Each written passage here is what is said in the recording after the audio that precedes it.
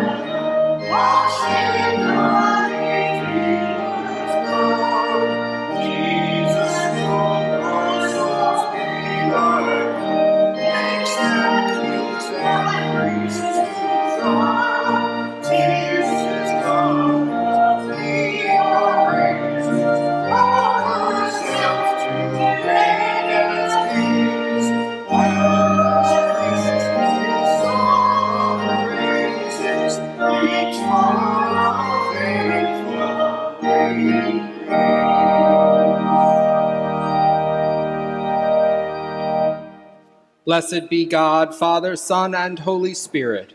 And blessed be God's kingdom, now and forever. Amen.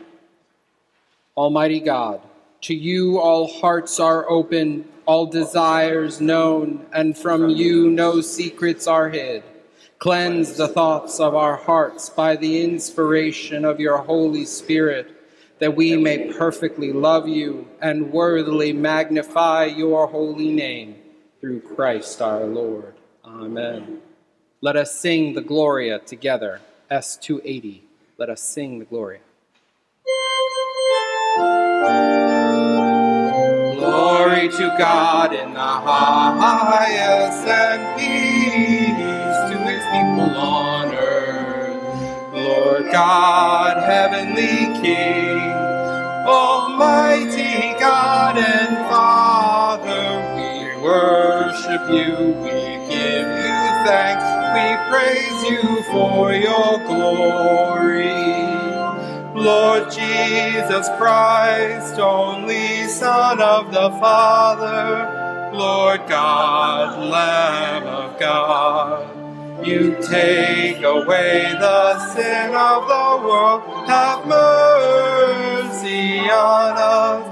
You are seated at the right hand of the Father. Receive our prayer. For you alone are the Holy One. You alone are the Lord. You alone are the Most High.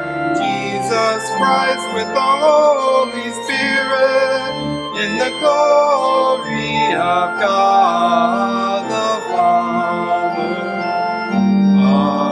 Amen.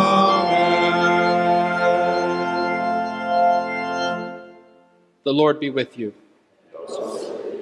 Let us pray. Lord of all power and might, the author and giver of all good things, graft in our hearts the love of your name. Increase in us true religion. Nourish us with all goodness, and bring forth in us the fruit of good works. Through Jesus Christ our Lord, who lives and reigns with you and the Holy Spirit, one God, forever and ever. Amen. You may be seated for the readings. The first lesson is a reading from the Old Testament book of Exodus. Moses was keeping the flock of his father in law Jethro, the priest of Midian. He led his flock beyond the wilderness and came to Mount Horeb, the mountain of God. There the angel of the Lord appeared to him in a flame of fire out of the bush. He looked, and the bush was blazing, yet it was not consumed. Then Moses said, I must turn aside and look at this great sight and see why the bush is not burned up. When the Lord that he had turned aside to see, God called to him out of the bush, Moses, Moses. And he said, Here I am. Then he said, Come no closer. Remove the sandals from your feet, for the place on which you are standing is holy ground. He said further, I am the God of your father, the God of Abraham, the God of Isaac, the God of Jacob. And Moses hid his face, for he was afraid to look at God.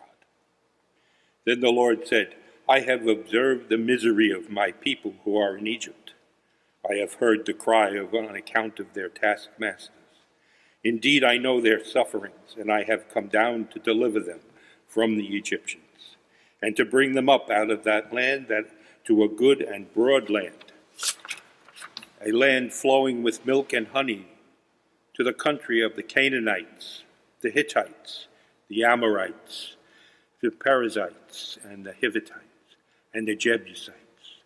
The cry of the Israelites has now come to me and I have also seen how the Egyptians oppressed them. So come, I will send you to Pharaoh to bring my people, the Israelites, out of Egypt.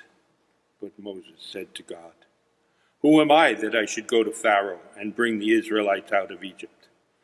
He said, I will be with you, and this shall be the sign for you that it is I who sent you. When you have brought the people out of Egypt, you shall worship God on this mountain. But Moses said to God, If I come to the Israelites and say to them, The God of your ancestors had sent me to you, and they ask me, What is his name? What shall I say to them? God said to Moses, I am who I am. He said further, This you shall say to the Israelites, I am has sent me to you.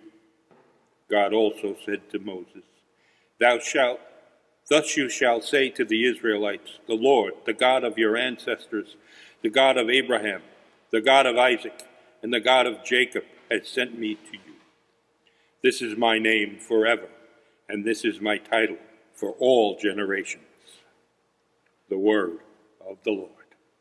Thanks be to God.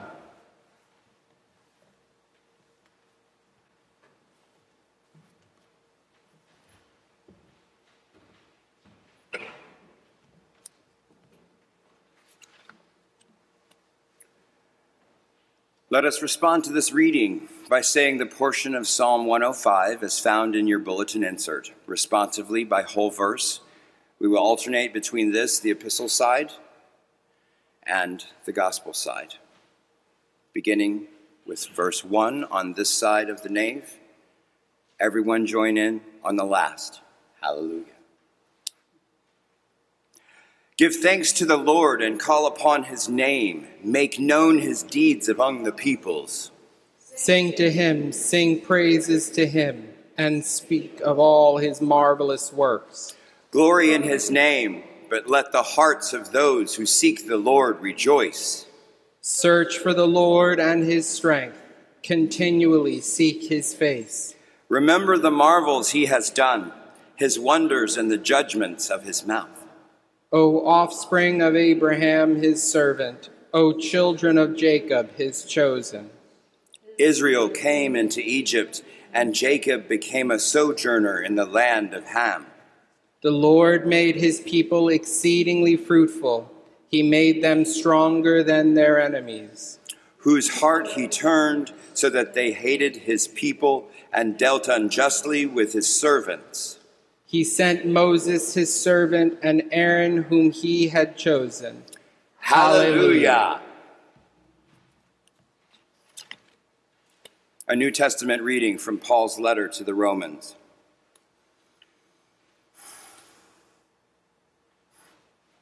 Let love be genuine.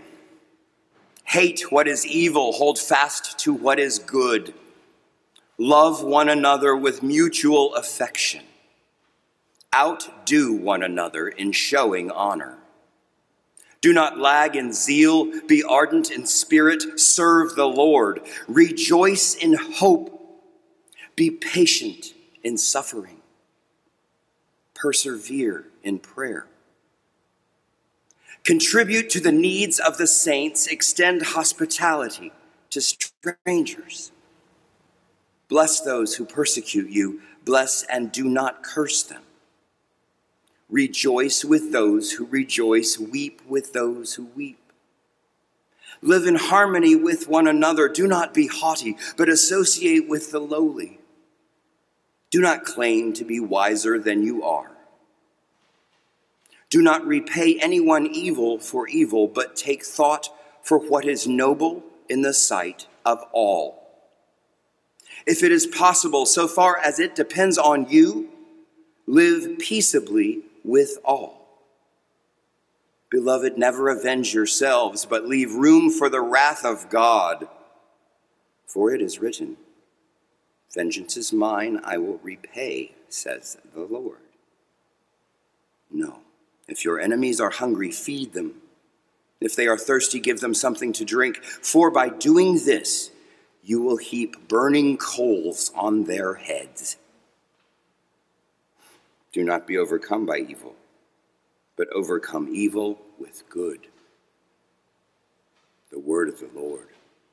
Thanks be to God. Let us stand as you are able for hymn number 513.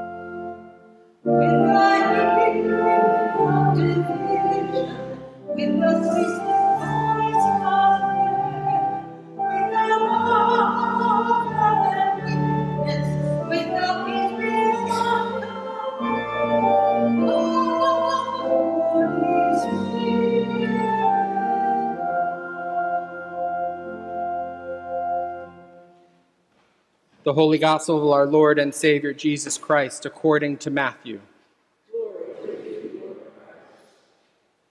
Jesus began to show his disciples that he must go to Jer- Jerusalem and undergo great suffering at the hands of the elders and chief priests and scribes, and be killed, and on the third day raised.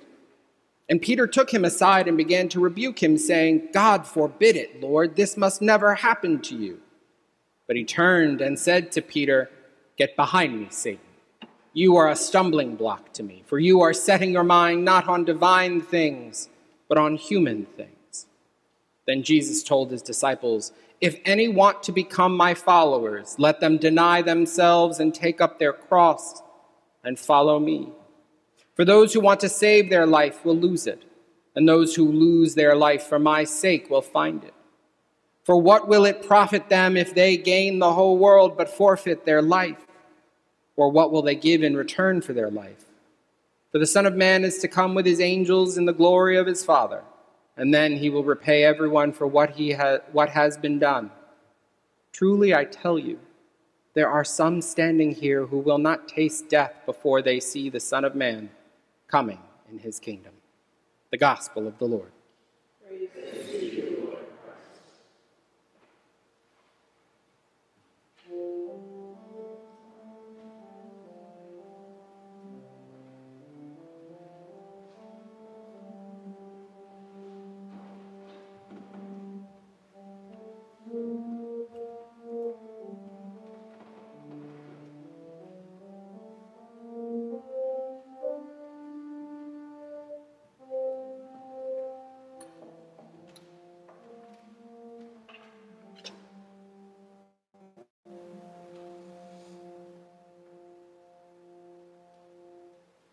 Our ears to hear you, our eyes to see you, our behavior to share you. Glory be to you, God, Father, Son, and Holy Spirit.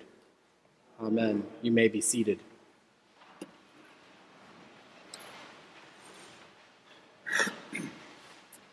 Good morning. So, this morning we're given two epic heroes of the Bible. From the Hebrew Bible, we're given the very moment that Moses goes from being an ordinary citizen just some guy who might be an interesting story, into God's chosen prophet and messenger. He becomes the savior for the Hebrew people. And then in the New Testament, in Matthew's gospel account, we hear of the moment before his actual crucifixion, where Jesus tells us about he is he too is chosen to do something that we will later find out to be heroic and saving for his people. I think something that stood out for me as I reread these stories is how God drafts people.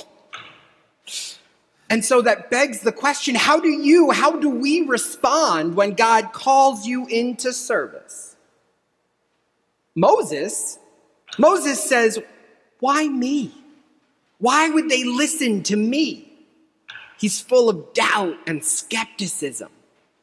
And then when Peter hears Jesus tell of this tragic moment, or what he thinks of will be a tragic moment, he wants to assure Jesus that death isn't the necessary option, that there are easier ways. And Jesus is like, he's like, dude, I am not going to let the adversary tempt me away from what has to be done just because just because it seems hard. Peter isn't Satan in that moment. To be clear, Peter's fear is Satan. Fears and doubts do so much more harm than we realize. They paralyze us and they dismantle our abilities to accomplish things we're so, because we're so captured by the what ifs and what may be's. Now, Mike's going to love this because wasn't it Yoda from Star Wars who popularized the slogan, fear leads to anger, anger leads to hate, and hate leads to suffering? The path to the dark side, as Yoda tells us, right? The path to our own downfall is paved by fears and doubts. And yet, and yet, fear and doubt do keep us alive, and they continue to keep us safe. Fear and doubt birthed insurance and banking. They birthed 401ks and pensions. They birthed unions and child labor laws. Fear and doubt by themselves aren't always bad. But when fear and doubt try to hinder the mission of God, that is when we need to be very suspicious of our fears and doubts. So, what do we do? How do we combat these fears and threat that threaten to cripple us? To Moses, God declares his very name. That's not even something he does to Abraham. To Peter and the disciples, we get Jesus' iconic words to take up our crosses and follow him. And the assurance is that no matter how bad it might actually be here on earth, the rewards, the altruistic payoffs, they're worth it. And Paul's directives to the Christians in Rome, these Christ followers who live at the very epicenter of the largest and most powerful empire in history, are to respond to darkness, to respond to control, to rep- respond to fear with light, to respond to hate and violence with love and empathy and goodness. But to Moses, to Peter and the disciples, to the Christ followers in Rome, to all of these different ways, the same sentiment is conveyed. Instead of being insecure, Instead of allowing yourselves to be emotionally be beaten, God reminds us over and over again that our personal transformation is possible not because of ourselves, but because of the one who sends us. I remember listening to a pastor who described this moment for Moses as his insecurity moment. And I remembered thinking to myself how often I have had those insecurity moments as well. How often do you doubt yourself? How often do you wonder at your own worthiness? And when you wonder, what would Jesus say to our doubt? Or what would God the Father say to our insecurities? You get responses from our readings today which should give us all pause. To Peter's fear, Jesus says, Get behind me, Satan. To Moses' insecurity, God the Father says, Remind them that their God. The one who sends you is the one who guided Abraham and Isaac and Jacob, the liberator of all Israel. Transformation of the self. Transformation is terrifying. Change is terrifying. And it's gosh darn near impossible when you try to imagine that it's your own skill that makes it possible. But the beauty of this morning's scriptures are that this indelible reminder of who is in your corner on this journey of personal or group transformation. We all have fears and doubts. Every day, the enemy tries to put doubts into my own head about my self worth and skill. To every single one of us. Our fears have a way of drilling into our most, most tender moments. They threaten our happiness. And yet, and yet, God gives us his name. Last week, Jesus asked us, Who do you say that I am? And today, God gives us the very I am who causes all beings into existence. The same God of our ancestors the same God who rescued the Hebrew people out of bondage, the same God who had Peter walk on water and fed thousands. That is the God that tries to build up our self esteem and tell us we are worthy. That is the God that tells the enemy inside your mind to step back and move out of the way. So, how do you do it? How do we do it? How do we invoke God's name into our fears and into our insecurities? Take up your cross, Jesus says. Face your fears. Do the thing that you are called to do and do it with your whole heart. Don't back down. Because it's not about actually facing your fears, it's about telling your fears that you have more important things to do than to cower to them. Brendan's, two of Brendan's uncles uh, were Navy SEALs. And I think about that from time to time. I was thinking about that a lot when I first met them, but I think about that from time to time. And the courage that it takes to do something so potentially terrifying. I imagine that out of all the Navy SEALs that have to paratroop into situations, some of them had to have been afraid of heights at some point in their lives. But they knew that what they were doing was more important than the fears that tried to hold them back. It wasn't about fear not existing, it was about the call being more important. My dad, as you all know, is in recovery counseling. Um, he's a counselor, and he tells you that in order to move forward, it's not about what you don't want, but about what you do. That there has to be a vision for the future, not just a memory of the past.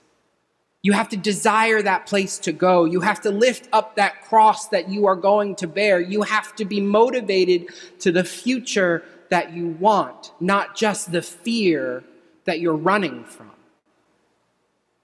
At Gethsemane, Jesus doesn't say, God, make my fears go away. He says, Father, your will be done. None of us are these perfect, fearless people. Like I said, fear is good. Fear can help us create amazing things. It will hopefully help us cure this planet before climate change completely destroys it. But, you, but fear can't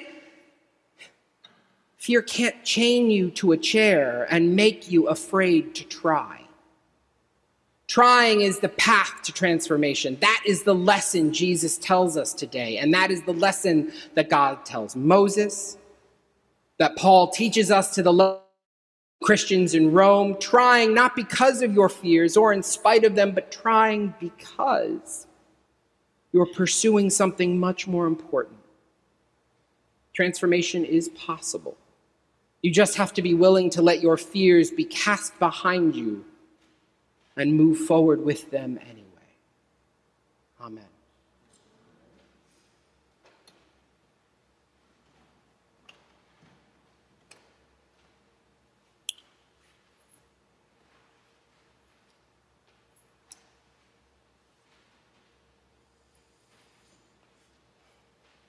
I invite you to stand as you are able, and that we might together recite the profession of faith in your bulletin. We believe in one God, the Father, the Almighty, maker of heaven and earth, of all that is seen and unseen.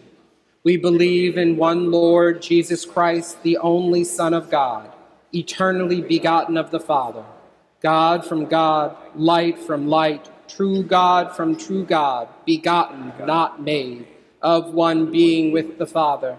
Through him all things were made. For us and for our salvation, he came down from heaven, was incarnate of the Holy Spirit and the Virgin Mary, and became truly human. For our sake, he was crucified under Pontius Pilate. He suffered death and was buried. On the third day, he rose again in accordance with the Scriptures.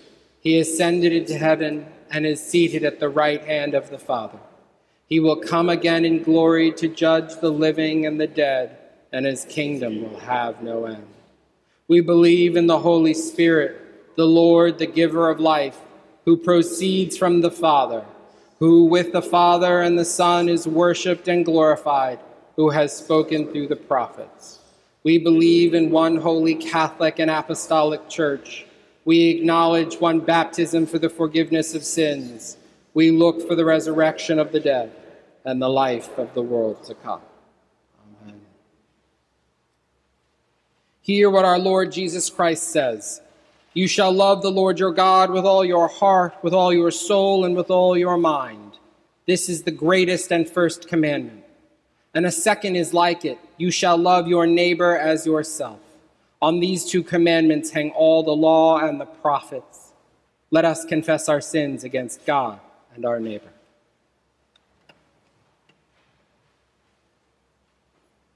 Most merciful God, we confess that we have sinned against you in thought, word, and deed, by what we have done and by what we have left undone. We have not loved you with our whole heart. We have not loved our neighbors as ourselves. We are truly sorry and we humbly repent. For the sake of your Son, Jesus Christ, have mercy on us and forgive us, that we may delight in your will and walk in your ways to the glory of your name. Amen. Almighty God, have mercy on you, forgive you all your sins through our Lord Jesus Christ, strengthen you in all goodness, and by the power of the Holy Spirit, keep you in eternal life. Amen. Jesus straightened up and said to the woman who sinned, Woman, where are they? Is there no one to condemn you? She said, No one, sir. Jesus said, Neither do I condemn you. Go, and from now on, don't sin anymore. The peace of the Lord be always with you. God's peace, you are beloved. God's peace, you are beloved.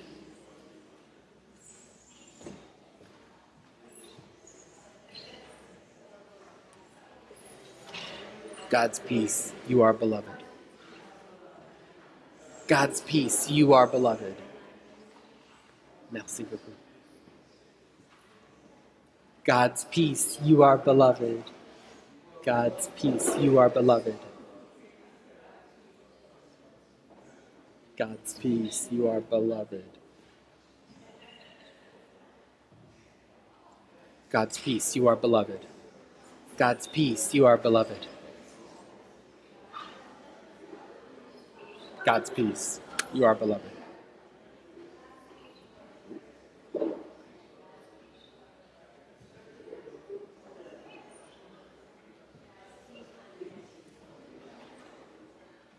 God's peace, you are beloved.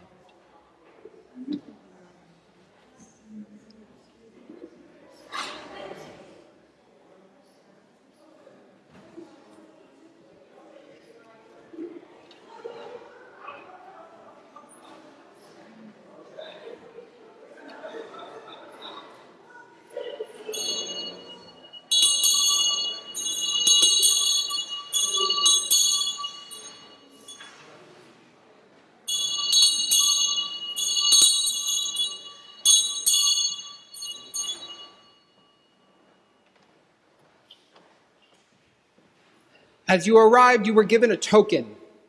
In addition to what you might normally give, we invite you to place this token in the plate with a prayerful offering of yourself to God. It could be a promise of time, of talent, of treasure.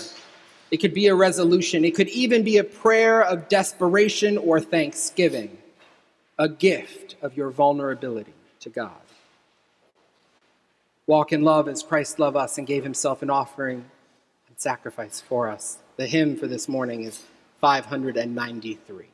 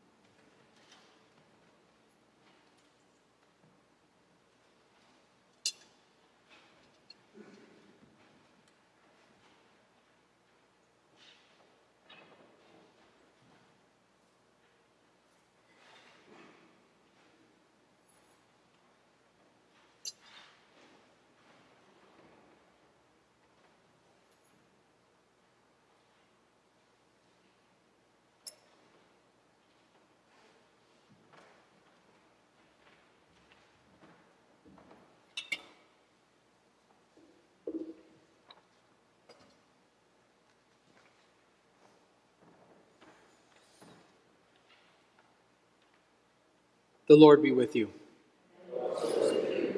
Lift up your hearts.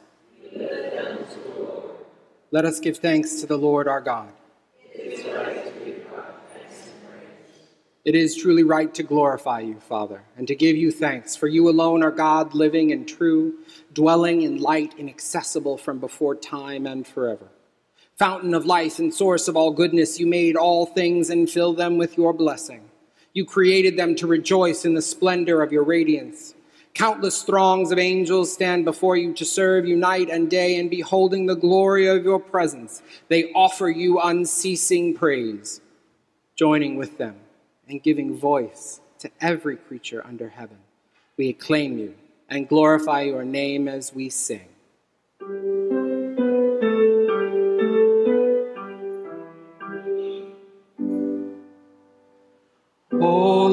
Holy, holy, Lord, God of power and might. Heaven and earth are full of your glory. Hosanna in the highest. Blessed is he who comes in the name of the Lord. Hosanna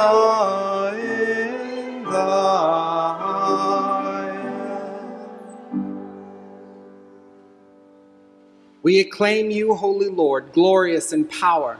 Your mighty works reveal your wisdom and love.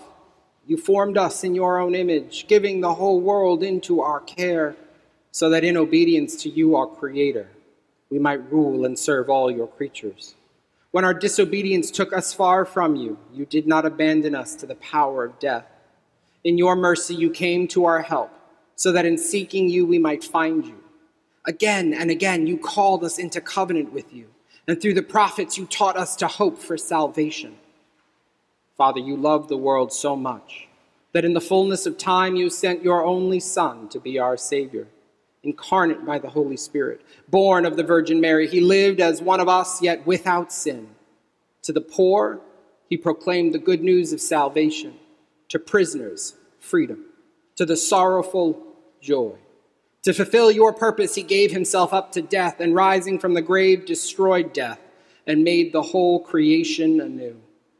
And that we might live no longer for ourselves, but for him who died and rose for us, he sent the Holy Spirit his own first gift for those who believe, to complete his work in the world and bring to fulfillment the sanctification of all. When the hour had come for him to be glorified by you, his heavenly Father, having loved his own who were in the world, he loved them to the end. At supper with them, he took bread, and when he had given thanks to you, he broke it. He gave it to his disciples and said, Take, eat. This is my body, which is given for you. Do this for the remembrance of me.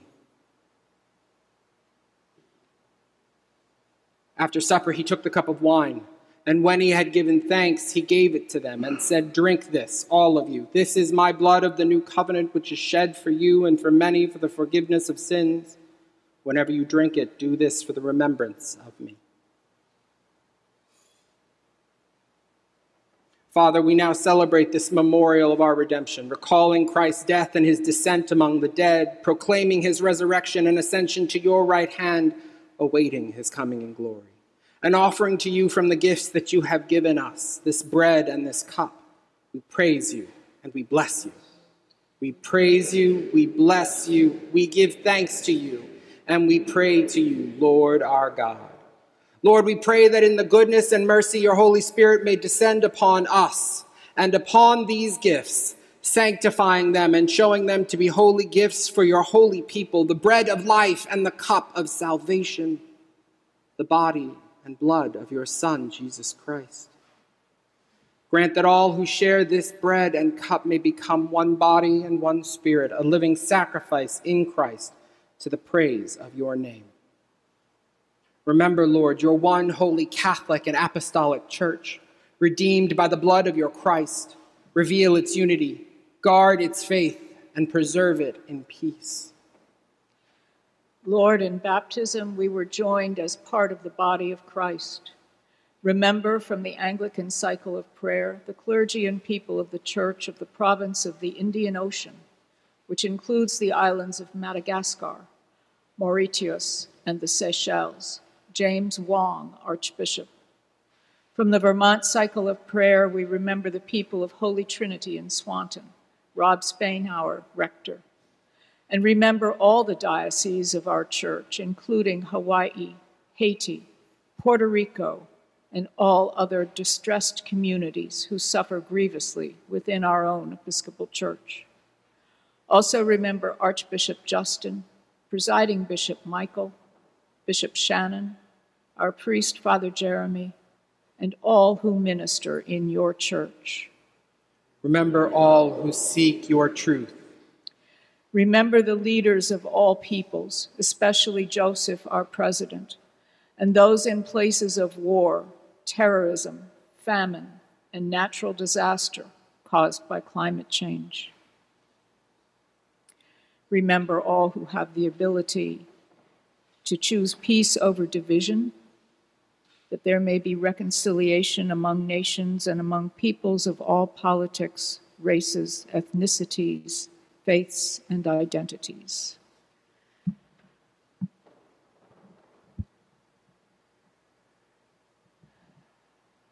We pray for all of God's creation and the good stewardship of our natural resources and our relationships. We fervently pray for the clergy and people of the Diocese of Hawaii, Haiti, and Puerto Rico in the Episcopal Church USA the Episcopal Church of Jerusalem and the Middle East, and all those in distressed communities around the world. Remember our wardens, priest, vestry members, and the members of the discernment committee as they pray and work for the furtherance of God's work in and from this community of faith. Lord, hear our prayer. Lord, hear our prayer. Remember all who suffer in body, mind, or spirit, especially David Danahar and his family, Susan and Andy Nagel, Marion Sibley, Wilfred Williamson, Jim Avery, Gus Scott, Robin Bowen, Janet Draffin, Ed Gust, Dorothea Herman, Archbishop Curry, Harold Frediani, Phil Harron, Bud, Vivian Lacey, Dot Whitley, Kelly and Sean Mallon, Cameron Lacey, and all others that we name silently or aloud. June Sherwin.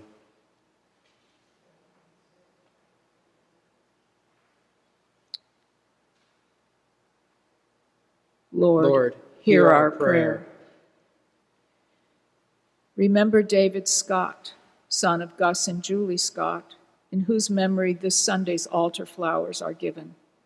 Remember Michelle Ann Sylvester, Debbie McFall, and all who have died in the peace of Christ, and those whose faith is known to you alone.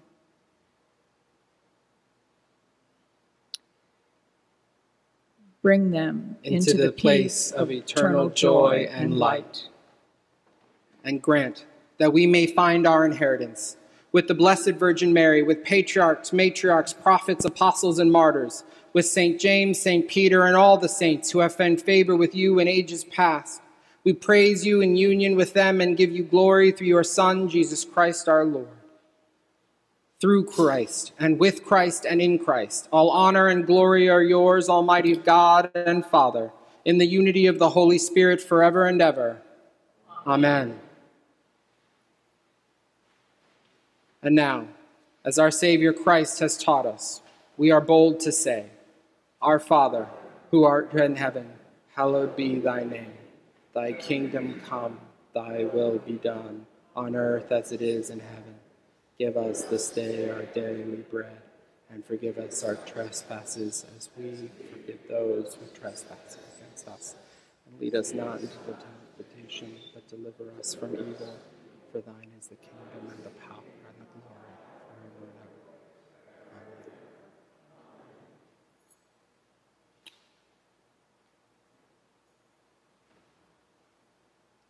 Hallelujah. Christ, our Passover, is sacrificed for us.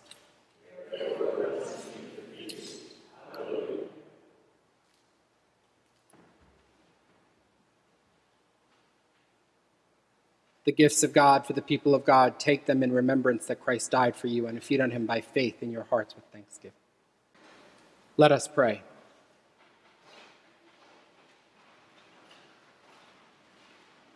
Eternal God, Heavenly Father, you have graciously accepted us as living members of your Son, our Savior, Jesus Christ, and you have fed us with spiritual food in the sacrament of his body and blood.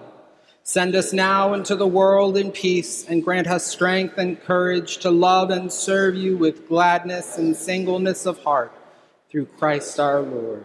Amen. The blessing of God Almighty, Father, Son, and Holy Spirit be with you and remain with you always and forever. Amen. You may be seated for the announcements.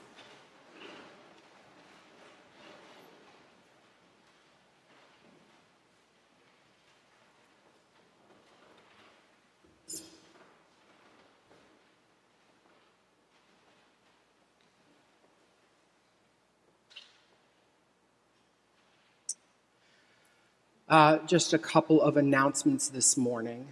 Uh, the first is that the bishop's visit again is next uh, is next week, and so if you have not let us know that uh, you plan on being here, please, please, please let us know. We'd like to make sure that we have enough food for the reception, um, and we're really excited about that. We've got not just as part of the bishop's visitation, but we have people who are being welcomed into the communion. Uh, we have people who are being confirmed, and so it's going to be a really joyous moment. Um, people from St. Peter's, people from St. James, and so it's just a really happy moment. Um, the second announcement oh, it's at 11 o'clock. Thank you. Yes, it's a special time. It's 11 a.m., not our normal 10 o'clock. So thank you. I always want to like mention that time, and so. Um, I have to say that this morning we had the cows out. So the scripture, and we were doing the Old Testament reading when we were doing the outside mass. So having the land of milk and honey and having wildflowers and cows right there in front of you was really cool. So if you all haven't gotten a chance to do one of our outside worship services, um, give it a try once. You know, it's, it's kind of cool. The cows are always there. What? Yes, that's true. That that would be at a 7:30 in the morning service. Yeah. Um, hopefully, so all of the, the postcards went out, so hopefully you have the next eight weeks. Um, if you haven't gotten them yet, they're either in your mailbox or if you're visiting us this morning, we can grab some for you. But they basically say when we're having Holy Eucharist versus um, morning prayer and the visitation, all saints and all souls are on there.